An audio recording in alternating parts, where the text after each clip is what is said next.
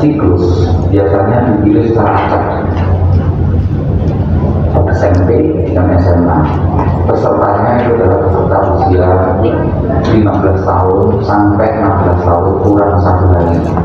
Masih itu menjadi peserta bisa dan kalau Indonesia mayoritas anak usia sekarang itu sekolahnya di sebagian di kelas 10 SMA sebagian di kelas 9 ada juga yang kelas 8 bahkan ada kelas 7 di Indonesia antara yang kelas 10 dengan di bawah kelas 10 itu sekitar tipis beda dengan Singapura. Kalau Singapura itu anak-anak usia 15 tahun sampai 16 tahun biasanya 90-95 persen sudah di SMA dan ini bisa memberikan kontribusi terhadap pencapaian bisa ya. jadi kita menganalisis bahwa perbedaan antara grade 9 dengan grade 10 itu bisa sampai 45 poin. Jadi ini salah satu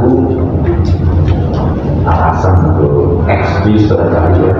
Di negara-negara yang usia 15 itu masih di low level di junior high school dia cenderung rendah even Vietnam mayoritas sudah kelas 10 jadi kita ini dari sisi entrance itu agak agak late comer kelas 7 baru masuk SD jatuhnya kelas 15 itu masih di kelas 9 ketika di tes internasional ini pembandingannya tidak ada.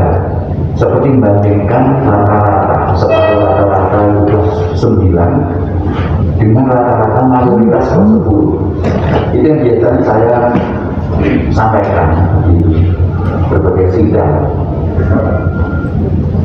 Bisa itu setiap tahun ada sidang namanya uh,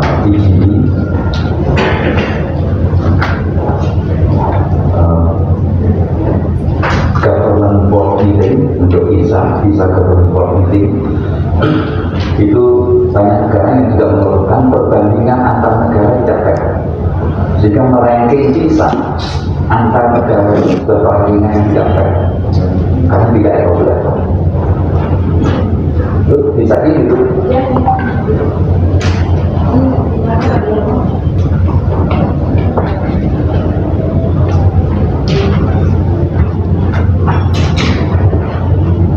nah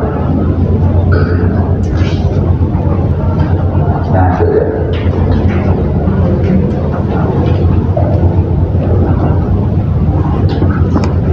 mirip tapi ini lebih komprehensif ya, ya. oke jadi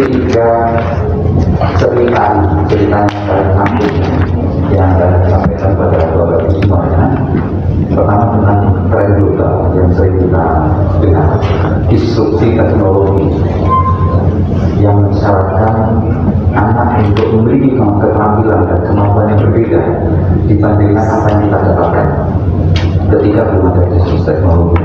Kemudian seperti apa? Apakah kita siap? Layanan pendidikan kita sebenarnya sudah siap menghadapi tantangan diskusi teknologi. Yang ketiga, uh, jawaban dari yang kedua itu kan pada belum, apalagi dengan COVID 19 ini membuat tantangan itu semakin berat. Oleh karena itu, seperti merdeka belajar di antaranya didesain untuk menghadapi disrupsi teknologi tadi. Dan dengan COVID, barangkali ada pemaksaan hikmah bahwa kita harus mempercepat menghadapi tantangan itu.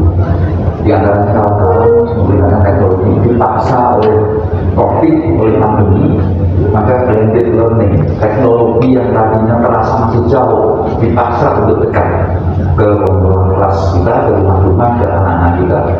Jadi seperti kita sering dengar bahwa kita hidup di era disrupsi teknologi industri revolusi industri 4.0 dengan ciri khasnya itu adalah otomasi. Serba smart. Robot smart. Artificial intelligence telepon kita smart? Komputer kita smart. Even TV kita smart. Rumah kita smart. Dan kita semakin tergantung pada smartness dari perangkat yang kita miliki sampai sekarang tidak tergantung pada smartphone. Dan mereka pintar membangun ekosistem yang serba smart. Dan kita ketika tinggalkan perangkat yang smart kita seolah menjadi down dari bodoh. Ini disrupsi dan kita sebagai manusia itu kita memiliki kemampuan untuk jazz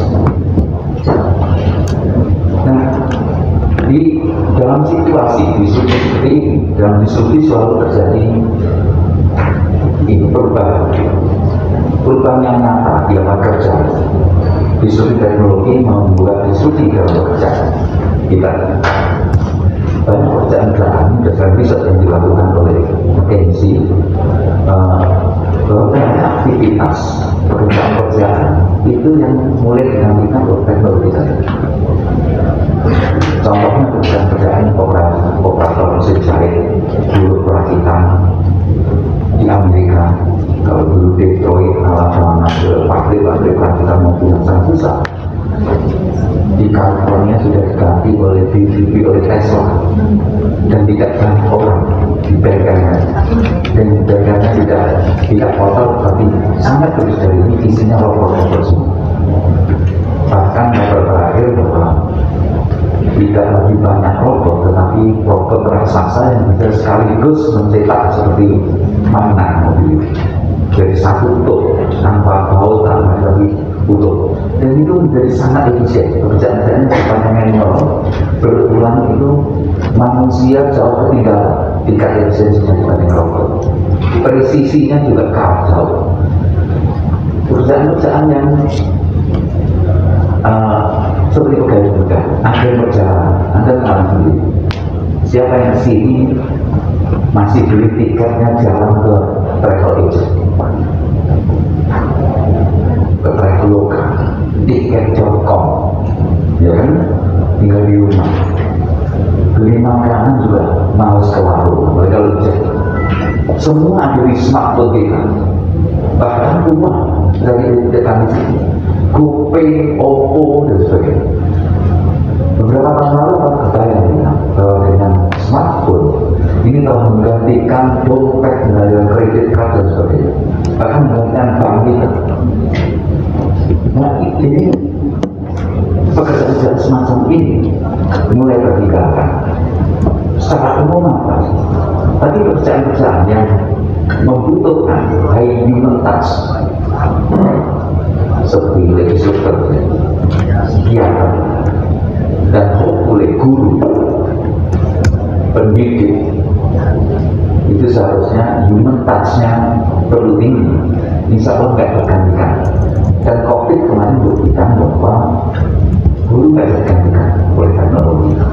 Anak-anak yang tertinggal, yang belajar tidak diganti oleh guru, ternyata mengalami kehilangan pengalaman belajar yang luar biasa.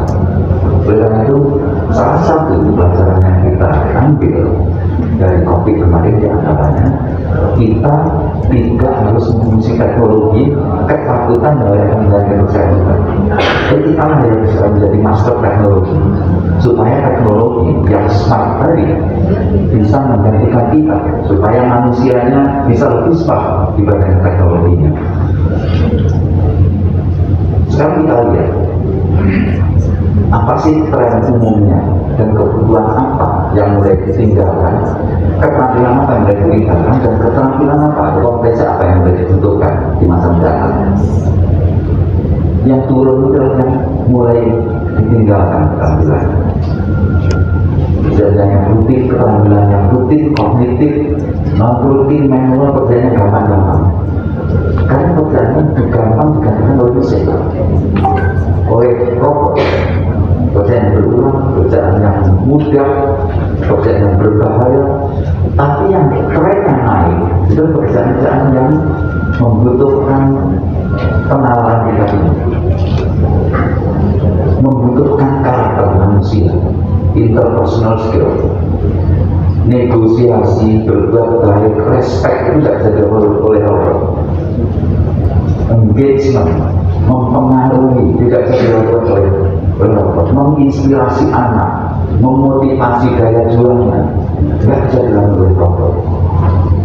Maka kalau kita sebagai pendidik hanya mentransfer apa yang dari buku dalam pemahaman itulah kerja robot dan anak-anak bisa baca di mana-mana yang nggak dimiliki robot adalah kemampuan sentuhan kemanusiaan kita.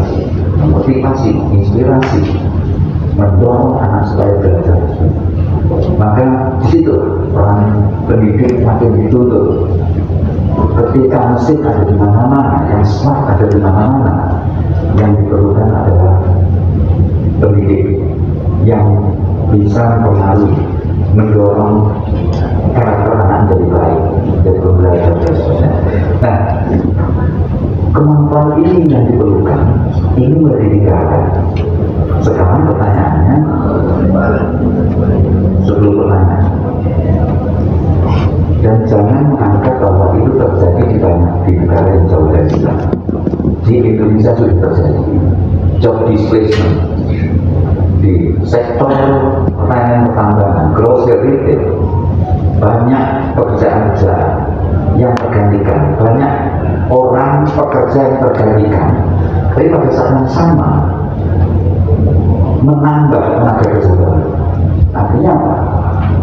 skillsnya yang tidak diperlukan tiga setengah juta skill tapi butuh skill terang melihat job market. Itu biasanya ada ada keterampilan yang paling seksi data analis, data scientist, uh, sistem analis, pekerjaan manusia, kemudian yang pekerjaan rutin mulai ditinggalkan kita dan. Jadi setiap disrupsi ada kehilangan, ada threat, ada tetapi juga opportunity. Pertanyaannya, apakah anak-anak kita sudah kita berkali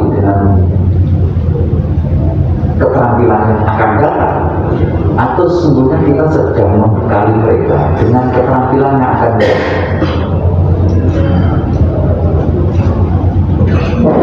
kita lihat progres pendidikan kita. Layanan pendidikan kita sesungguhnya makin makin luas makin merata makin terjangkau oleh semua lapisan masyarakat. Gambar ini menunjukkan dari kohort ke kohort naik. Kalau tahun 1995 masuk SD sekitar 100 ini masuk kelas 10 hanya 36 kecil sekali. Hanya elit SMA itu masih elitis untuk tahun 95 tapi dari tahun 2017 masuk SD dua SMA hopefully 73 persen.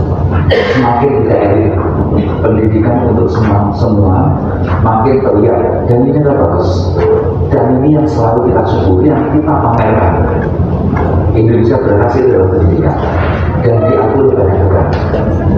Salah satu berdasarkan Indonesia dalam pendidikan berhasil menyekolahkan membawa ke sekolah siapa saja kaya miskin dengan program-program kebijakan yang afirmasi kepada nah yang ketiga kalau kita pecah siapa sih yang paling diuntungkan?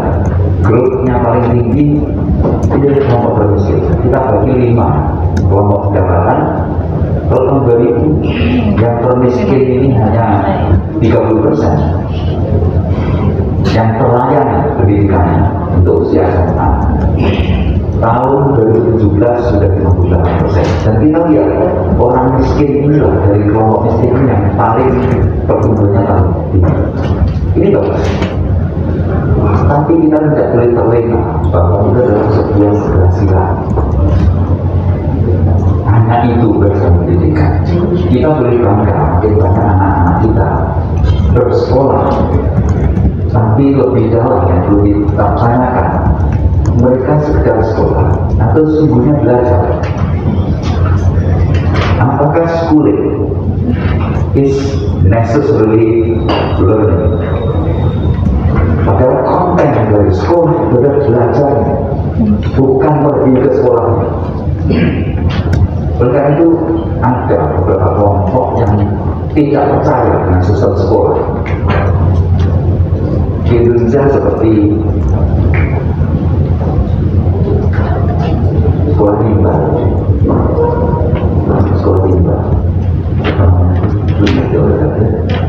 di dunia Ivan Ilip yang menulis buku bisa dilihat Ivan Ilip I L I C H. Yang menulis buku The Schooling Society. The Schooling Society.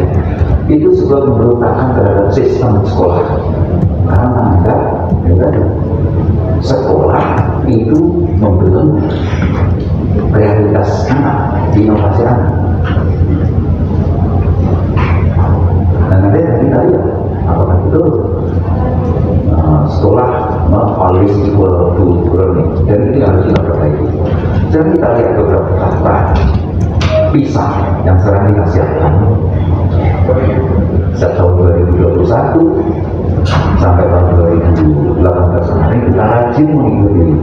Bisa tetapi overall flat flat kita dari generasi ke generasi praktis tidak ada kenaikan. Di tiga domain membaca reading literacy mathematical literacy dan science literacy overall flat dan yang perlu diperhatikan adalah 70% anak kita usia 15 tahun tadi achievementnya di bawah level minimum. Level minimum itu kalau bisa 1 sampai 6 berada hanya level 2 minimum. Bayangannya kalau membaca level minimum itu hanya paham apa yang tertulis di teks tidak mampu menggali apa di balik teks tapi tidak tertulis tadi. Mengambil kesimpulan merefleksikan bacaan mengambil moral value-nya me menginferensi. Itu maksudnya jadi yang mampu dijawab adalah pertanyaan-pertanyaan yang memang ada di teks mengambil kesimpulan dari bacaan apalagi kalau bacaannya banyak dari berbagai pendapat kesimpulan kamu apa? tidak bisa. Makanya sejarah yang harusnya penuh dengan nilai. Kepahlawanan moral story yang bagus uh, perjuangan nilai perjuangan bagus. Biasanya nggak terambil yang terambil hanya apa tahu-tahu dan apa tahu itu adalah low order di dalam politik dan itu nggak perlu manusia. Google, Oppo itu lebih canggih kalau diisi dengan kamus kamus pengetahuan sendiri. Matematika juga demikian. Ambil soal ini soal pisah atau aksi. Uh, kira-kira ada dongeng ada cerita bayi yang bertinggal di hutan kemudian dipelihara oleh serigala. Karena ada cerita itu dan dewasa jadi apa? Kita. Kemudian disajikan fakta tabel tentang konten susu. Dengan asumsi bahwa anak itu tumbuh awalnya dari susu ada komposisi susu serigala, susu kambing, susu uh, sapi, kemudian besarnya adalah susu ibu. Dari komposisi itu anak diminta menyimpulkan cerita tadi kira-kira betul-betul terjadi, bisa terjadi atau mitos. Banyak anak malah kesulitan. Gak have no idea what to dengan bacaan itu. Karena tidak ada di teks itu bahwa itu mitos atau itu fakta, nggak ada. Dan anak-anak harus mengambil kesimpulan dari fakta empiris tadi untuk menjelaskan apakah itu mitos atau tidak. Kalau anak cerdas tahu bahwa dasarnya susu itu cari yang sedekat mungkin dengan komposisi susu itu dan serigala itu ada dasarnya dibandingkan susu itu bisa mengambil kesimpulan Nah anak-anak kita mengalami kesulitan luar biasa. Sejarah dan dia. Kalau ada dua fakta sejarah yang berbeda, dua tiga fakta sejarah yang berbeda, kemudian diambil, menurut kamu yang paling logis mah itu udah apa? Jelaskan. Dan anak-anak di Amerika, contohnya, di Singapura, itu dengan yang standar sejarah itu namanya juga history. Bukan my story atau your story atau her story. Itu cerita dia his. So, jadi ada kemungkinan bahwa history itu memiliki versi yang berbeda-beda. Dan itu umum sampai pada anak dari bahan-bahan analisis. Ketika terjadi sebuah kasus misalnya pada Amerika penembakan random shooting di sebuah sekolah di mall. Anak-anak diminta menganalisis. Kenapa itu terjadi undang-undang contohnya undang-undang kebebasan sipil. Civil Rights Act. Nama nomor satu. Jurnalistis menurut kamu Civil Rights Act itu betul atau enggak? Analisis PPKN bedakan dengan PPKN juga. Jadi jangan menganggap bahwa critical thinking penalaran itu hanya ada di matematika, sains, social science banyak sekali critical thinking. Kehidupan kita sehari-hari memerlukan critical thinking. Dan kita, anak-anak kita tidak dibiasakan dengan pola belajar seperti itu. No wonder ketika bisa ditanyakan dengan pertanyaan seperti itu, anak-anak tidak biasa. Lain perundungan ini terkait dengan interpersonal skill ya. Perundungan malah kita 41 persen, tapi kalau CV hanya 23. Karakter yang lain growth mindset rendah. Growth mindset adalah passion, uh, hasrat untuk maju, untuk bertumbuh, tanggung kita jelas dari data ini saja dan banyak sekali data bisa dan inilah nanti kawan-kawannya akan digali di antara murid-murid ada yang salah yang dan benar. Dan gak usah gak usah khawatir ini anda nanti sekolahnya gak akan dicat anda nanti lebih riset Indonesia dan gak ada identitas sekolah. Jadi ini mencerminkan secara fair kondisi umum anak kita sesuatu yang perlu kita pelajari. Semoga bisa mendatang gambarannya lebih baik, menunjukkan kesiapan kita. Jadi kalau kita kita siap gak nyambut globalisasi, nyambut industri 4.0, ngomong siapnya berdasarkan fakta, oh enggak siap gitu aja tanpa menghormati apa yang akan diajarkan dan inilah jadi kita enggak boleh santai, nggak boleh terlena, komplesen terhadap capaian-capaian sekolah kan.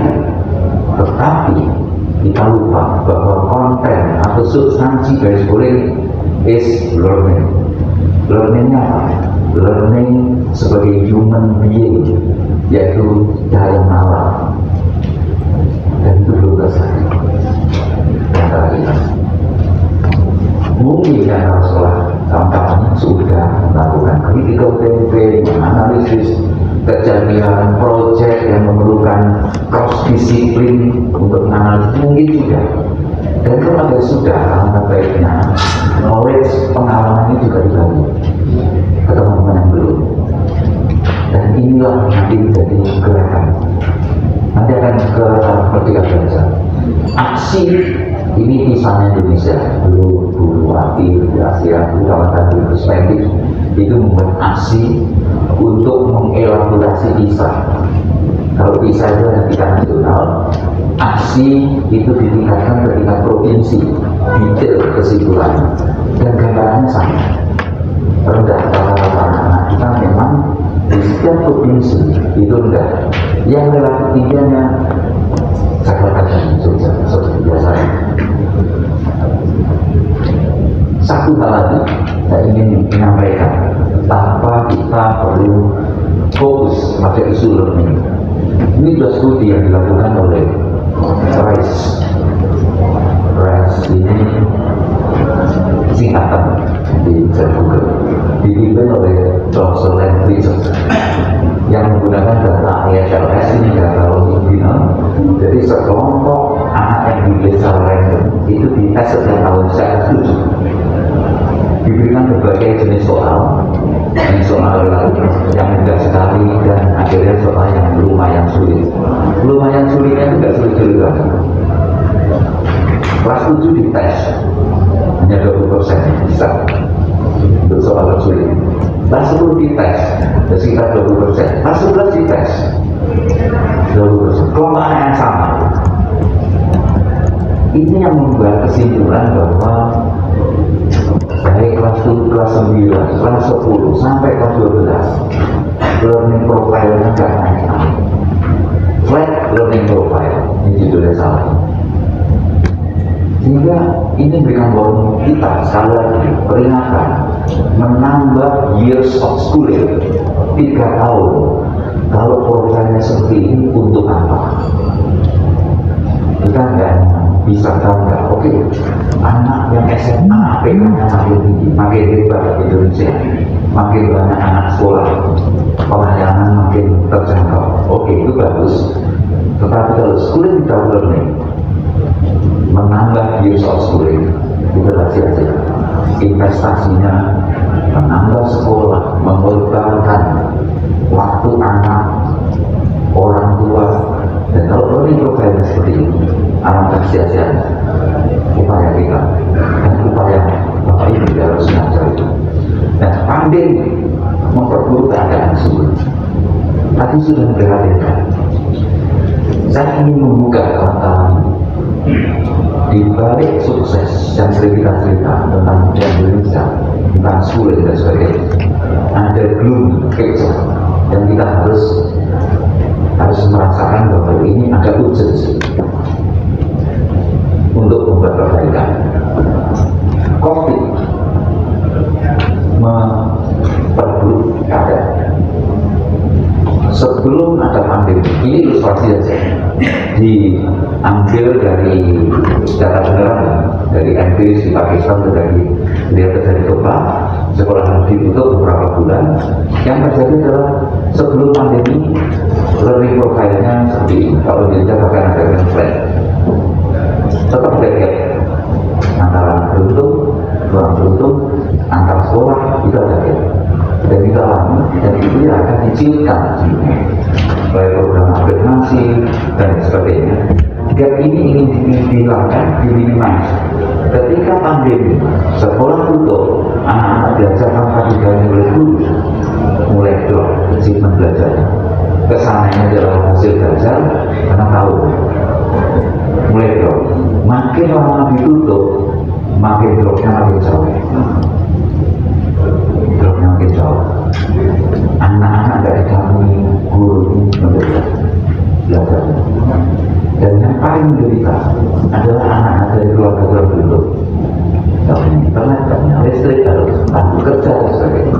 Mungkin ada abuse emosi di keluarga orang tua nggak terdidik nggak berani nggak bisa mendampingi anaknya belajar dan anak yang diuntungkan juga juga drop tapi nggak belajarkan dan learning loss terjadi ini sebuah learning kehilangan pengalaman belajar selama sekolah dulu dan juga learning gap melebarnya gap hasil belajar.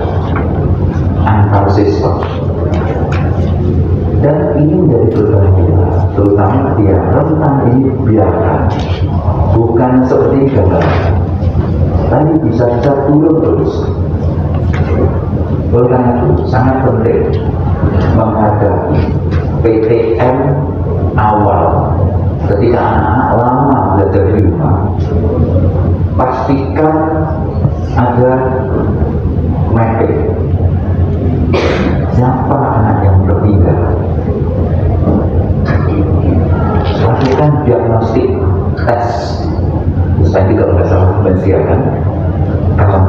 Ibu juga bisa membuat diagnostik tes untuk memetakan siapa tertinggal lakukan pedagogi right level jangan mengajar sekedar menuntaskan kurikulum ketuntasan kurikulum itu menyenangkan yang ngatur saja tetapi itu membuat menyiksa anak. Tidak sendiri senang oh tuntas semua. KIKB nya yang banyak itu telah diajarkan pengawas mungkin akreditasi ini senang. Dituntaskan semua. Tetapi anak menderita. Karena mereka nggak tahu apa-apa yang tadi dia diajarkan bapak ibu dulu dan kalau kita ingat yang kita lakukan itu hanya untuk apa? Bukan untuk menyenangkan birokrasi pengawas para dinas kasih kurikulum kabar kurikulum bukan. Untuk anak kita mungkin sudah terjebak lama bahwa mendidik melaksanakan proses belajar itu untuk menyenangkan pengawas asesor akreditasi kepala dinas direktur dan dirjen semua tuntas. Tapi sebenarnya anak tidak dapat apa-apa. Schooling selalu dan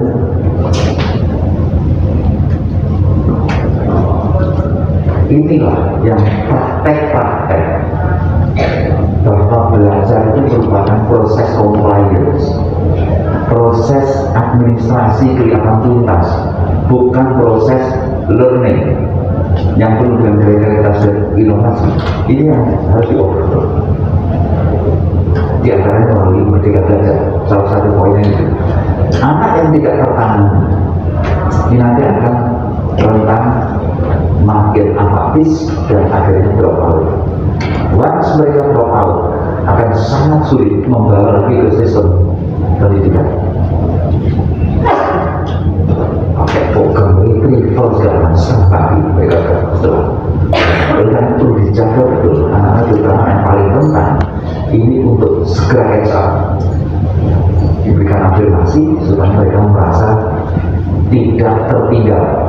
Syukur kalau ini kemudian disamakan lagi dengan dengan yang beruntung anak yang beruntung story lainnya seperti itu kira-kira. Pandemi dan ini adalah bukti fakta bahwa setelah setahun tidak kami oleh guru karena SD ini mengalami learning loss. 40 persen identik jadi dalam setengah tahun ditutup tahun ditambah dengan minggu karena SD ini kira-kira mereka itu setara belajar hanya setengah tahun hilang satu semester satu enam bulan hilang plus dua dalam numeracy ini literacy numeracy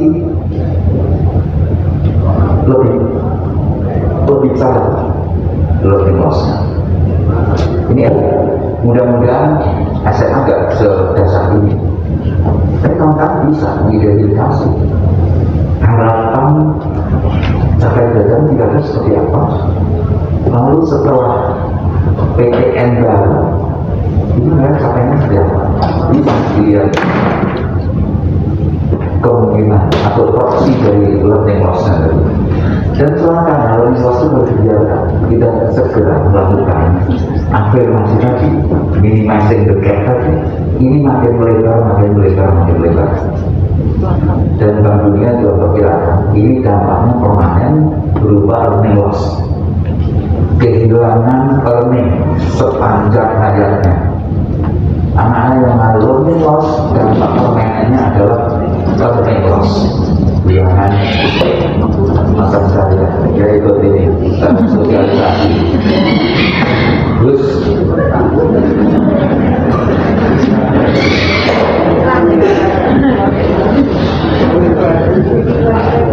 satu cinta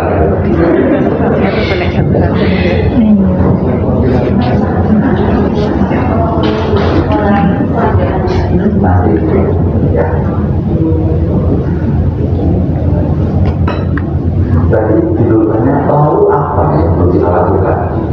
Yang jelas kita perlu overhaul sistem, terutama dalam hal learning, memperbaiki learning.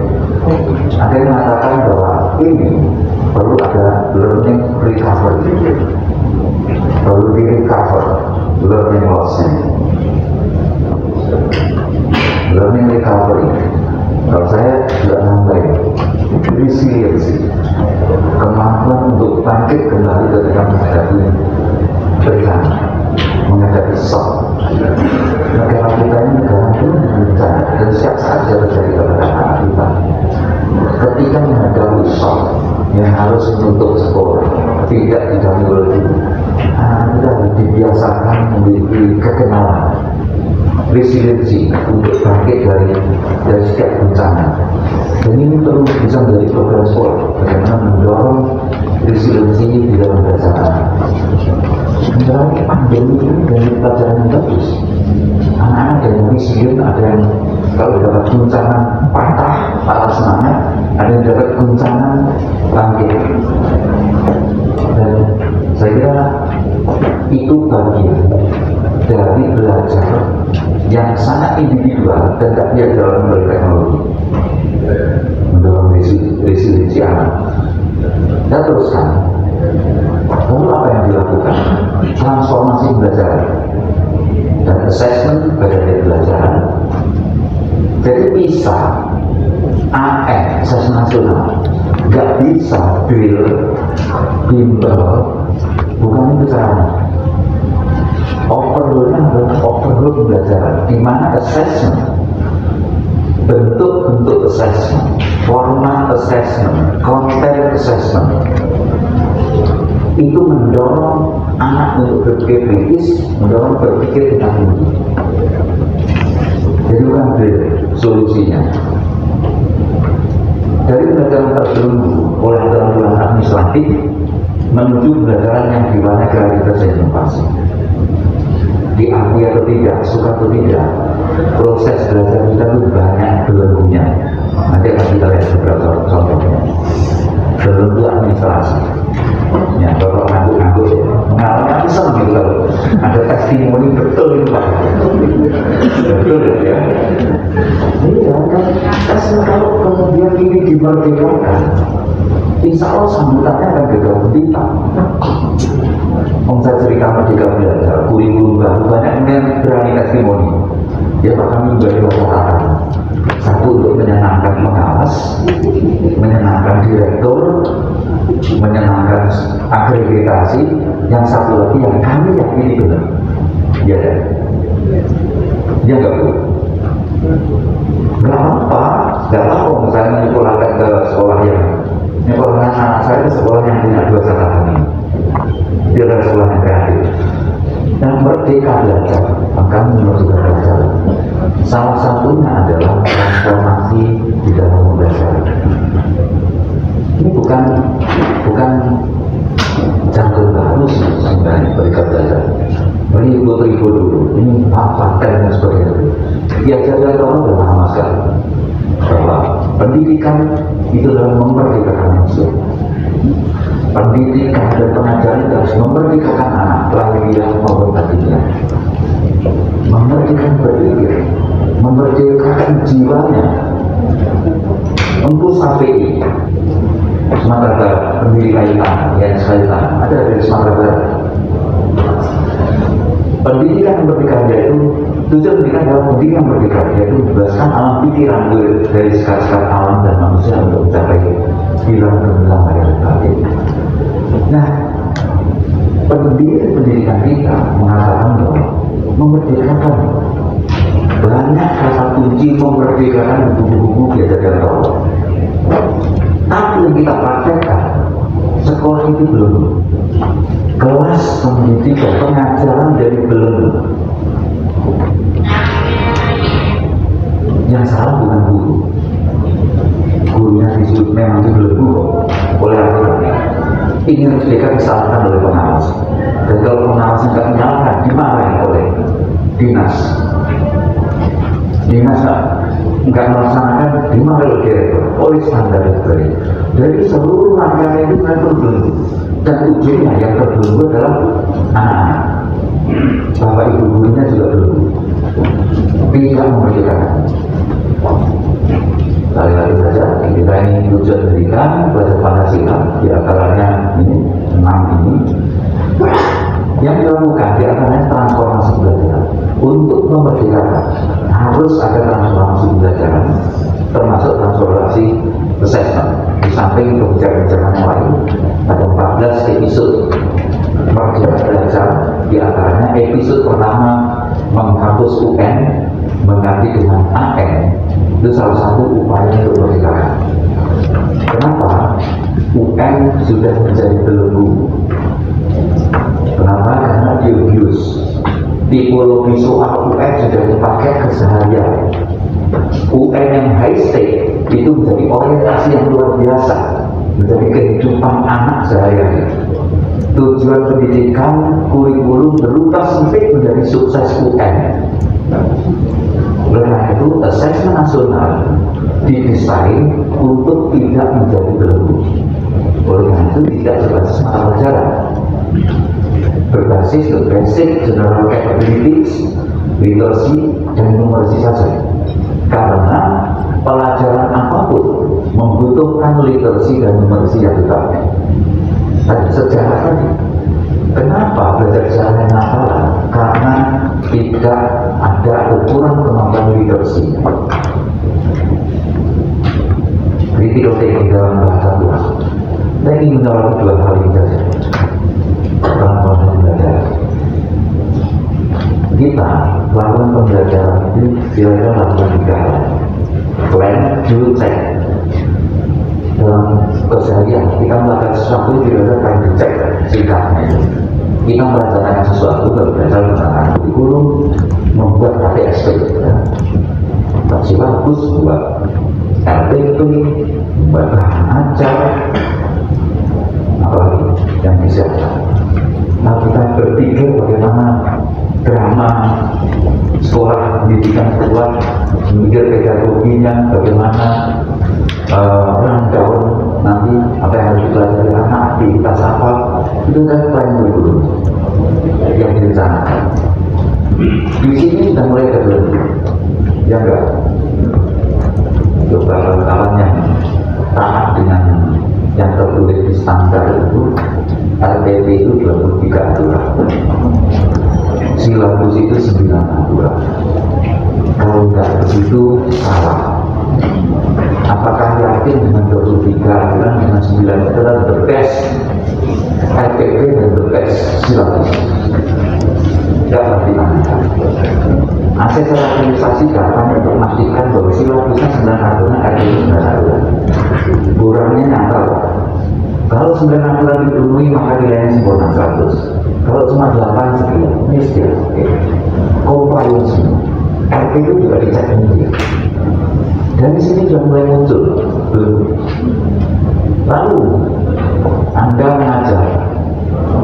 Do apa yang ada cara Anda diminta untuk melakukan penelitian tindakan kelas.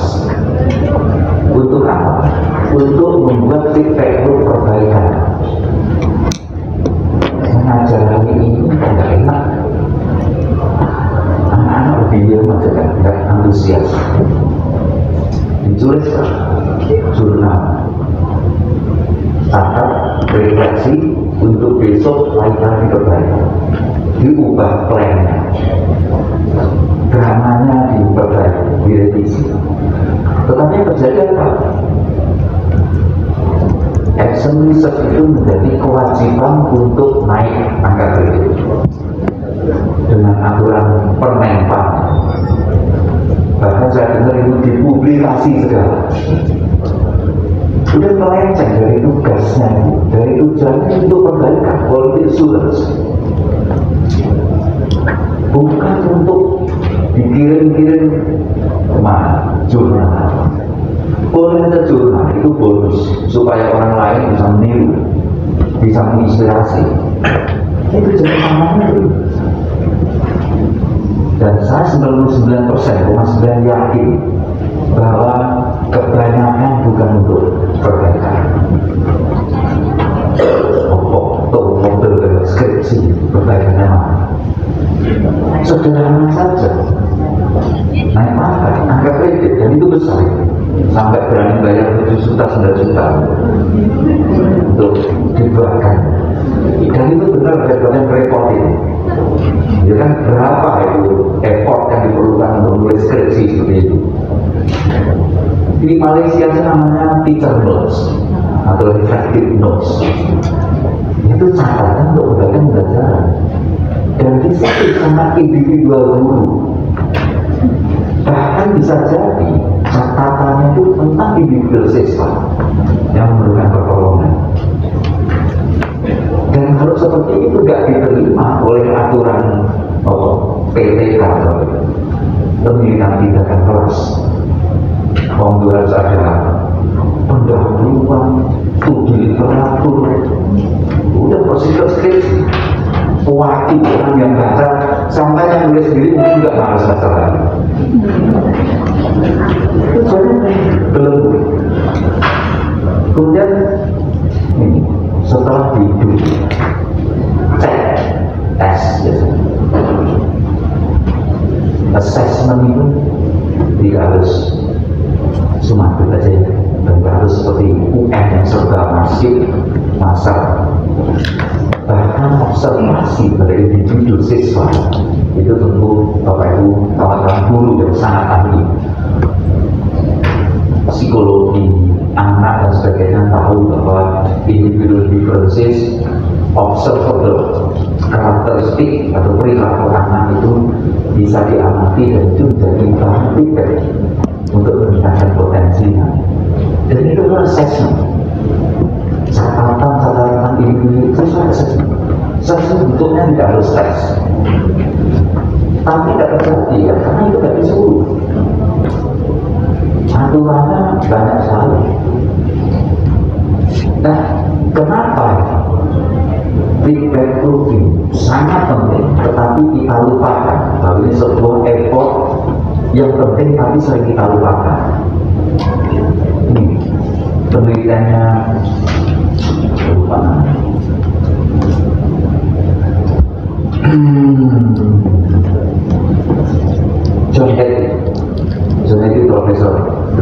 di University of Melbourne uh, Auckland University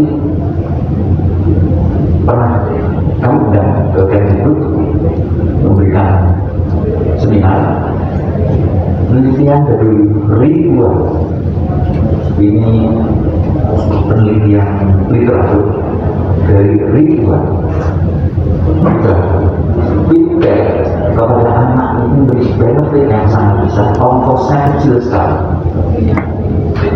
Bapak itu bisa memberikan sendiri. Tidak harus menunggu proyek dari digasnya ini bukan proyek ini adalah effort yang bisa dilakukan oleh, guru makanya kalau memarking hasil ujian berikan feedback kalau bagus berikan apresiasi. Masih salah jangan diucap hinanya berikan feedback bahwa pelajarilah kita apa? Coba nanti dilakukan perbaikan feedback apa pun yang intinya untuk mengkaris anak untuk belajar karena dampaknya luar biasa. Tanpa menggunakan bos bisa banyak dan tempat terbesar benefitnya ini adalah effort-effort yang sangat murah benefitnya besar. Instead yang biasa menarik hati untuk jadi projector membangun ruang kelas supaya mereka dari didik berkelas jamnya bisa tersebar banyak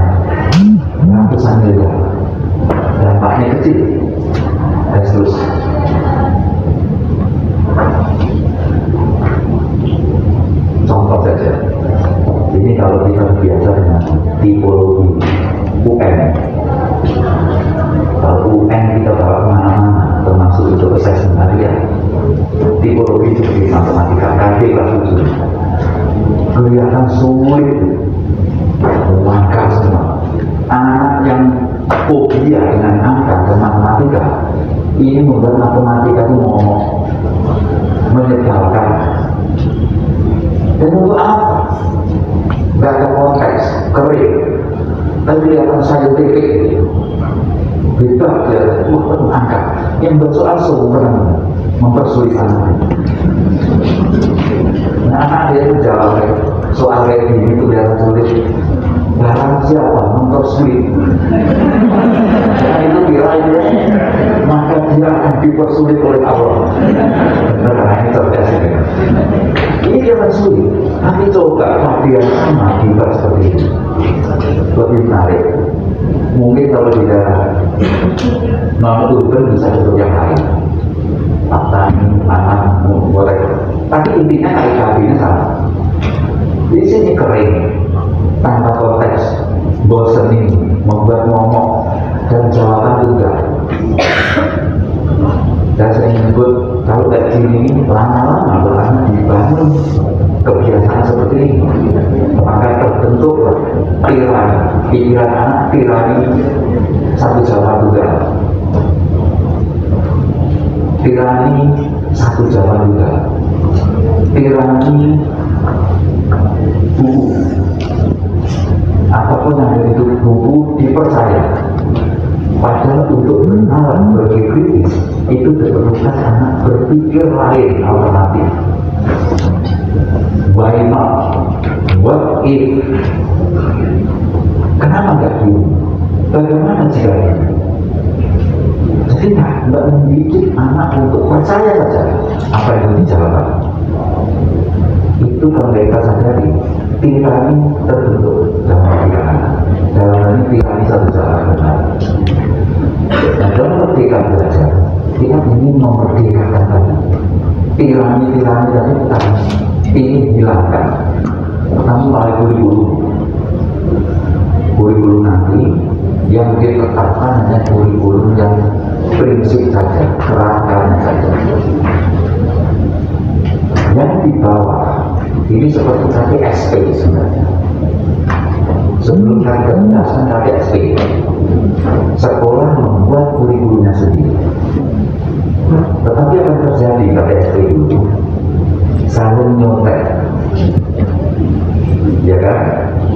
Sekolah di desa gitu saya ini waktu dulu ya ini bahasa dia pasti SP itu nah itu paling banyak contekan itu siap ketahuan di pojok desa eh tersulit SMA satu Jakarta.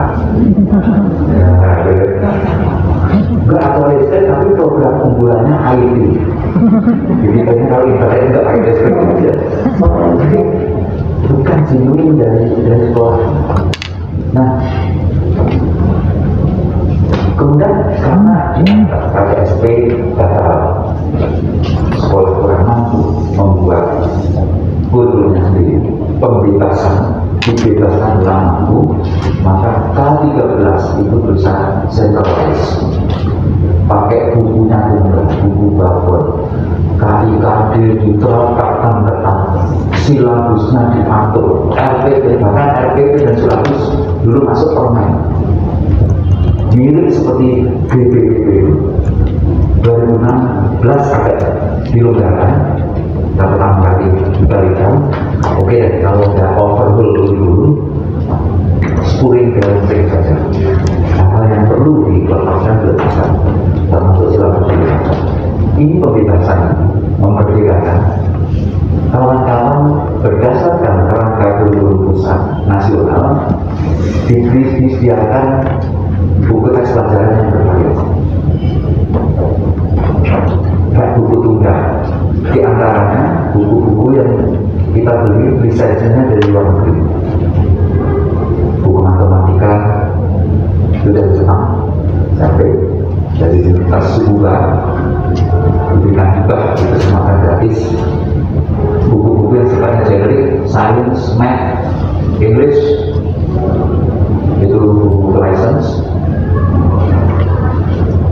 Tentu agama kita sendiri dengan approach harapannya berbeda. Kalau PPKN juga hafalan masih lebih pada tiga hal perilaku sebagai anggota masyarakat.